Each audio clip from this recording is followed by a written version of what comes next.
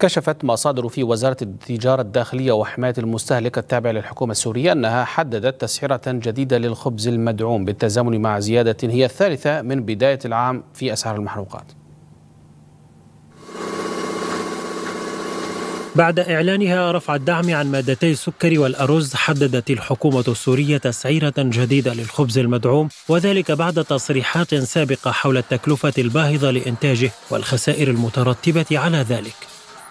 مصادر في وزارة التجارة الداخلية وحماية المستهلك التابعة للحكومة السورية كشفت أن الأخيرة حددت تسعيرة جديدة للخبز وأبلغت إدارة الأفران بها والتي أبلغت بدورها معتمدي توزيع الخبز في دمشق بالقرار الذي حدد سعر الربطة المدعومة ب 450 ليرة سورية.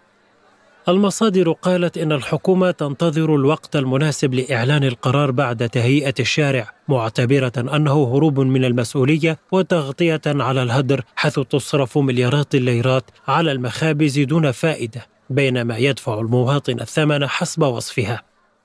وارتفعت أسعار الخبز السياحي في العاصمة دمشق في الثامن والعشرين من كانون الثاني الفائت ووصل سعر الربطة الكبيرة في العاصمة دمشق إلى أحد عشر ألف ليرة سورية بعد أن كانت بعشرة آلاف ليرة والصغيرة بستة آلاف وخمسمائة ليرة بدلا من خمسة آلاف وخمسمائة ليرة. وبالتزامن مع رفع سعر الخبز رفعت الحكومة السورية أسعار البنزين للمرة الثالثة على التوالي منذ بداية العام الحالي حيث أظهر قرار صدر عن وزارة التجارة الداخلية وحماية المستهلك. رفع سعر لتر البنزين المدعوم أوكتان 90 من عشرة ألاف للتر الواحد إلى عشرة آلاف وخمسمائة ليرة سورية ورفع سعر لتر البنزين غير المدعوم أوكتان 95 إلى 13825 ليرة بدلا من 12680 ليرة.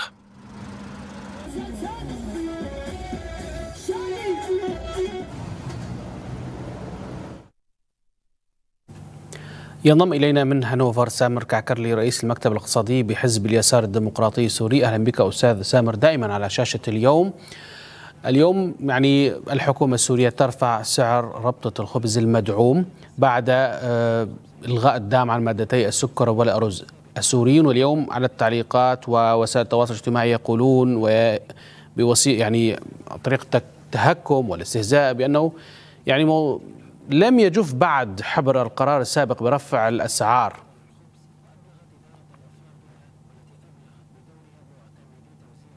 أستاذ سامر. ألو صوتي واضح؟ إيه تفضل. تحياتي لك للساده المشاهدين. أبدا اولا آه خليني أستعرض هيك ولو بخمس دقائق آه يعني آه عفوا من دقيقة استعراض بأنه آه الخبز أو مادة الخبز هي كانت إحدى وسائل نظام الأسد إن كان حفظ أسد ولا بشار الاسد لقهر الشعب السوري. وأنا بعترض على كلمة مدعوم ما في شيء اسمه مدعوم بسوريا. الخبز على الخبز. الخبز هذه كذبة. لما يقولوا إنه كذبة الخبز المدعوم هذه كذبة.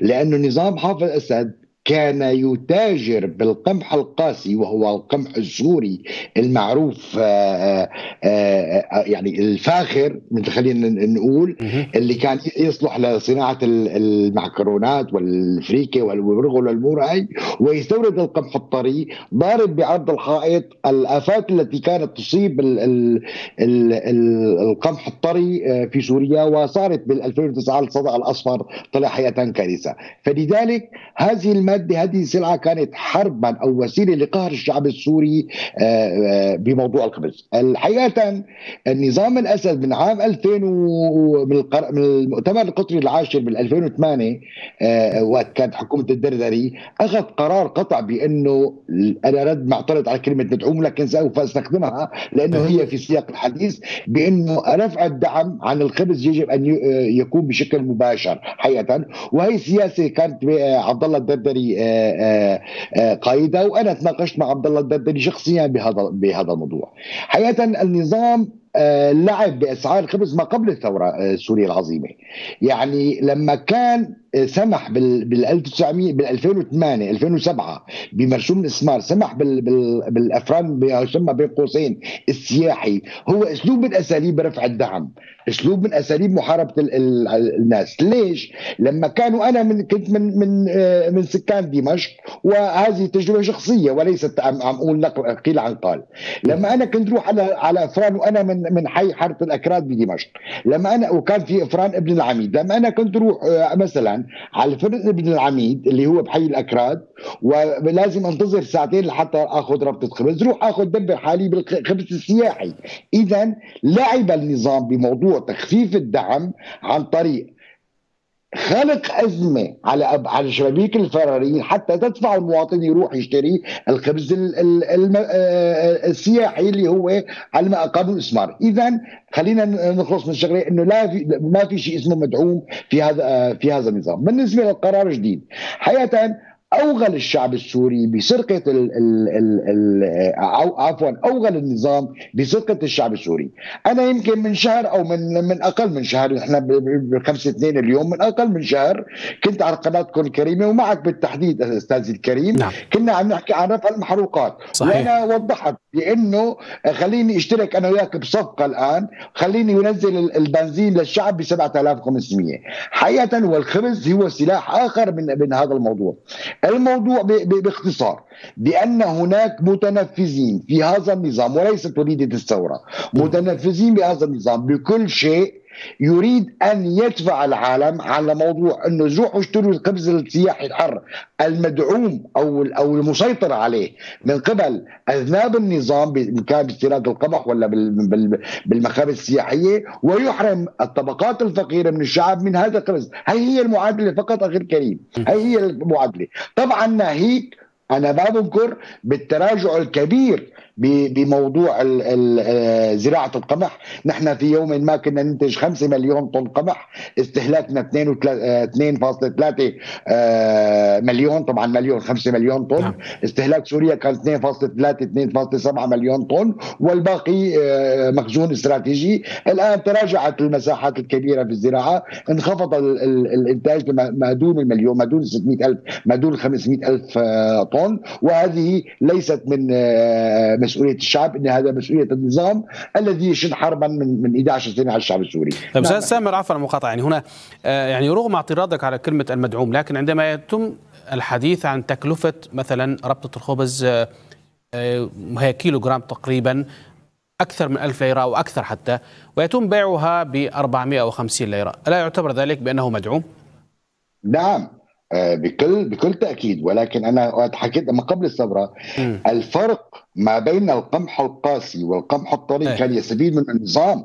أنا عم أقول إنه الدعم نعم مدعوم من الخبز ولكن الدعم ليس من جيبه ابوون من فرق السعر ما بين القاسي والطري. كان يصدر القاسي آه، لإيطاليا و... آه. ولصناعة المعكرونة أو يبيعوا للتجار خاصة لما قانون الاستثمار فتح آه، الشركات المعكرونة الدانا وما دانا وهربوش ما هربوش ويستفيد من ذلك. يشتري القمح القاسي. هلأ السعر السوري لما تطلع المجلس الوزراء اللجنه الاقتصادية تطلع سعر القمح. ما بتطلع سعر القمح القاسي هالقد وسعر القمح الطري هالقد. بتقول بدنا نشتري نحن القمح من المزارع السوري بكذا ليرة. بكذا ليرة هذه الكذا ليرة محسوبة حسب آه، آه، تكاليف الانتاج زائد 25% ربح للمزارع ولكن م. عمليا القمح القاسي كان يصدر حسب الأسعار العالمية ويباع إلى المعامل حسب الأسعار العالمية اذا الفرق ما بين هي أنا أنا بقول إيه. إنه نعم مدعوم ولكن ليس من الخزينة إنما من فارق السرقة من ما بين القمح القاسي والطريح حتى هذه المعضلة أراد نظام بشار أسد أن يقضي عليها حتى يعني هذا الفرق يصب في في في خدمة النظام الآن الآن هذا الموضوع هو سرقة علنية للشعب السوري لأن هناك موارد أخرى كانت ممكن تغطي هذا الموضوع ولا يمكن الضغط وخاصة في مستوى فقر لم يسبق له مثيل تضغط على قيمة المواطن السوري برفع الخبز وهي مادة أساسية طيب. لتغذية الشعب. نعم أستاذ سامر لو تحدثنا عن اقتصاد اقتصاد دولة هنا حضرتك اقتصادي وخير من يتحدث عن ذلك طيب ما هي جدوى هذه السياسة؟ ماذا حقق سياسة رفع الأسعار المتتالية من قبل الحكومة السورية خاصة المواد المسمات مدعومة سواء الخبز أو الرز أو والمحروقات وغيرها؟ انت بدك تسألني كاقتصاد تركني من الشق السياسي موضوع قهر نعم. الشعب وهالأمور هذا هذا كله صار خلفنا وصرنا بنعرفه الآن إنه ليش اقتصاديا هيك عم يتصرف؟ حقيقه نحن من بعد بداية الثورة العظيمة تعطلت العملية الإنتاجية في سوريا. إلى الاقتصاد منهار أخي الكريم. النظام النظام السوري والمليارات الموجودة في في بنوك أوروبا غير مستعد النظام أن يدعم فيها الاقتصاد الذي تسبب في انهياره. نعم الآن الاقتصاد منهار وكل ما له انهار أكثر وال وال والاسوء قادم. يعني هلا بجوز تتفاجئ هالكلمة. إنه في اسوء من هيك. نعم هناك اسوء من هيك آه، قادم. مثل ما قلت لك بالعام 2011 كرس هذا النظام موازنة سوريا كلها لخدمة آلته العسكرية والأمنية. إذا ناهيك عن توقف الموارد الطبيعية للخزينة من من سياحة من نفط من من زراعة من من من من كل عوامل الاقتصاد توقف ذلك. العملية الاقتصادية واقفه بسوريا.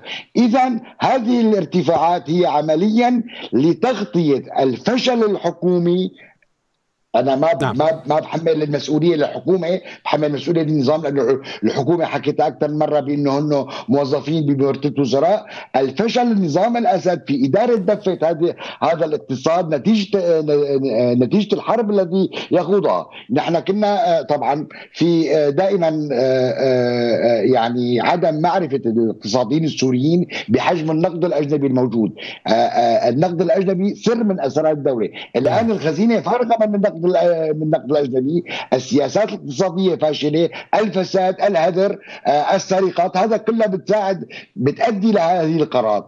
آه، حقيقة إيه. القرار اليوم القرار اليوم اللي طلع موضوع قرار رفع الغمز هو إشارة إلى ما يسمى اللجنة الاقتصادية آه، إيه. بعتقد توصية اللجنة الاقتصادية، اللجنة الاقتصادية ما لها توصيات أخي الكريم، اللجنة الاقتصادية وأنا كنت يعني على تماس مباشر مع اللجان الاقتصادية من خلال وزارة الزراعة ومن خلال علاقة علاقتي مع معاون الوزير آه، طيب. وزير طيب. فكانت القرار تجي من من القصر الجمهوري وخاصة بما يتعلق بالقمح نعم أخي الكريم إيه. أستاذ سامر أيضا هناك بعض الخبراء الاقتصاديون يتحدثون أنه يجب رفع الدعم عن هذه المواد حتى يتم الحفاظ على قيمة الليرة أو وقف التضخم هنا هل سيغير رفع الأسعار ورفع الدعم عن بعض المواد من حقيقة التضخم في الليرة السورية أو يحسن من قيمتها أمام العملات الأجنبية؟ لا أعتقد بأنه رفع الدعم اذا امنا في دعم أنا أعمل لك إنه أنا مقتنع لساعتي انه إنه ما في نظام الاسد لا يدعمه لكن لن نرفض جدا إنه ذلك. أنا لا أعتقد بأنه آه، رفع الدعم عن عن السلع المدعومة آه، وعمليا يمكن في غير الخبز رز وسكر يمكن اخذوا قرار حتى السكر الارز لغوا الدعم عنه. لا الدعم يعني عمليا ما عاد في غير الخبز. سينقذ ال ال ال الاقتصاد السوري، الاقتصاد السوري مثل ما قلت لك يعني بسبب الحرب و و ما نحكي سياسه خلينا نحكي اقتصاد أي بلد تتوقف فيها العملية الإنتاجية، ما ما هي موارد الدولة؟ موارد الدولة التجارة، الاستيراد والتصدير، الزراعة، القمح والقطن و و الموارد الثروات الباطنيه من نفط و و و ومواد أخرى والسياحة وترانزيت، هذا كله متوقف أخي الكريم. ال ال الثروات الثروات الباطنية الفوسفات والنفط هي كله خارج آه، سيطرة النظام. اذا لا موارد. السياحة متوقفة التجارة ترانزيت متوقفة. آه، فمن أين تجي موارد فلا يكذبوا علينا نقول إنه أخي رفع الدعم سيساهم آه، بتوقف التضخم. ليه؟ بعطيني معطيات رفع وقف التضخم. وقف التضخم بإعادة العجلة العجلة الإنتاج لسابقها ما قبل الثورة. هي نقطة. النقطة الثانية آه، حتى موضوع آه، آه، إعادة الأعمار.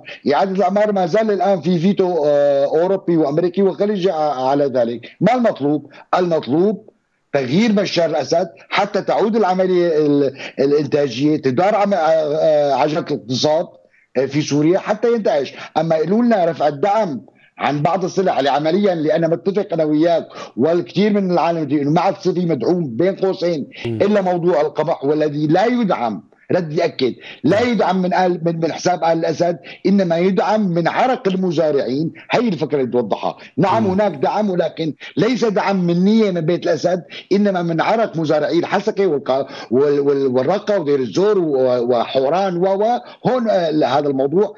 اذا لا لا لا, لا يعني لا وقف للتضخم أو الانهيار بموضوع نعم. الدعم إنما إعادة العجله الاقتصاديه للدوران هو من يوقف التضخم والانهيار. نعم الكريم. أشكرك جزيل الشكر من هانوفر سامر كعكرلي رئيس المكتب الاقتصادي بحزب اليسار الديمقراطي السوري. شكرا لك.